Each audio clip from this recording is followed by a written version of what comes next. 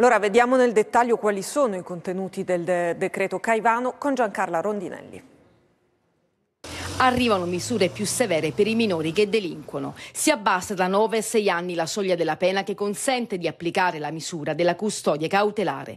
Previsto l'arresto dai 14 anni in su per chi è colto in flagranza di reati come spaccio e violenza pubblico ufficiale. Scende a 12 anni l'età in cui si possono ricevere ammonimenti, misura diretta soprattutto al contrasto del bullismo. L'adolescente verrà convocato in questura con i genitori, sanzioni pecunarie anche per loro fino a 1000 euro. Provvedimenti provvedimenti antidispersione scolastica e i genitori di un minore che non frequenta la scuola dell'obbligo rischiano fino a due anni di carcere. E poi il DASPO urbano esteso, come spiega il ministro degli interni Piantedosi, anche ai quattordicenni. Il questore potrà ordinare ai ragazzi di lasciare il territorio dove hanno commesso azioni illegali e violente. Non solo repressione, spiega il ministro della giustizia Nordio, ma anche un percorso rieducativo. Nel decreto anche un capitolo Caivano, progetto di rigenerazione urbana e sociale, 30 milioni di euro e un commissario straordinario ad hoc, nome indicato Fabio Ciciliano.